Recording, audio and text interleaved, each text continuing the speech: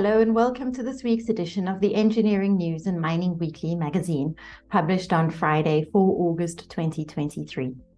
In this week's cover article, Engineering News and Mining Weekly senior online writer Cameron Mackay writes that procurement clarity and prosecutions are key to tackling construction site disruptions.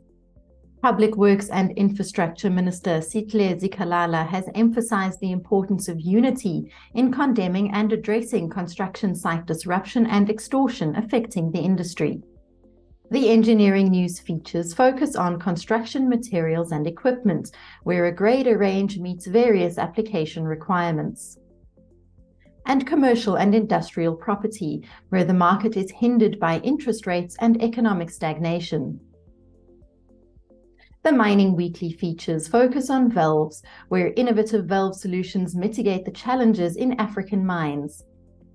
And water purification and treatments, where a nature inspired oil water separator is employed underground.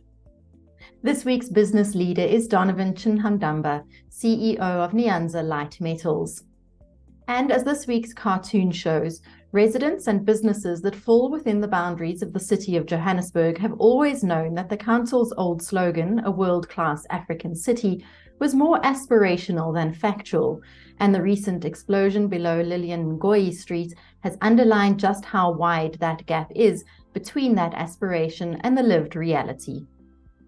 We hope you enjoy this week's edition of Creamer Media's Engineering News and Mining Weekly. Be sure to subscribe to the magazine that offers you in depth news about developments in the real economy by emailing subscriptions at engineeringnews.co.za.